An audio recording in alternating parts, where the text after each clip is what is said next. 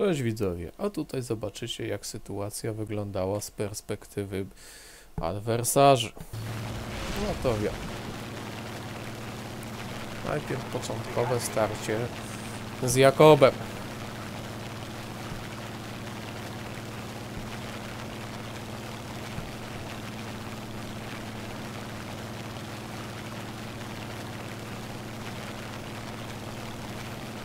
Tym momencie chyba robię splitesa, żeby zacząć atak na Jakoba.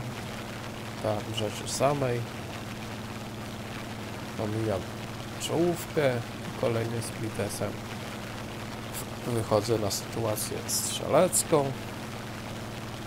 Zaczynam go tam ganiać. W tym momencie leciałem w stronę Kobry i ją dostrzegłem. Poza tym była kropka na radarze, więc po postraszeniu tejże foki kolejnym splitesem zyskuję łyczek energii i zaczynam uciekać w stronę swoich linii. No, gdzie ta foka? Tu ją gdzieś słyszę, ale z tyłu została. No i zaczynam przeciwników odciągać.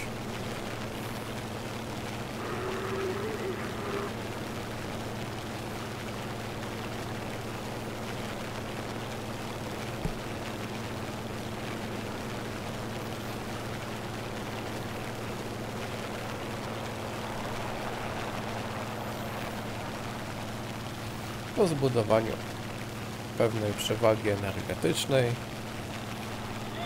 i odciągnięciu ich na wystarczająco bezpieczną odległość od spawna. A chyba jeszcze nie. O, teraz dopiero przechodzę z Plitesem do ataku, omijając czołówkę z kobrą i omijając czołówkę z foką. I przechodzę kolejnym splitesem do minięcia kobry, która zdążyła w tym czasie zawrócić.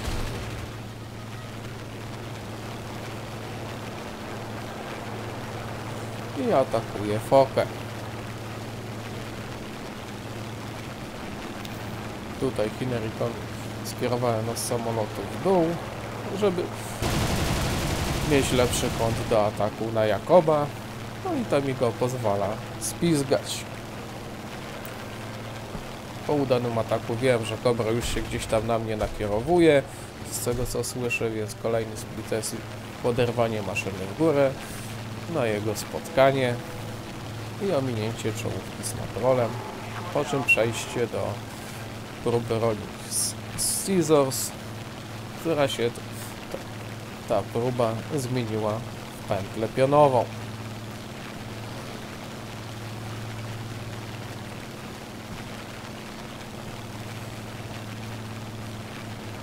Na szczycie tejże pętli po skręceniu przepustnicy zaczynam wychodzić na sytuację strzelecką do kobry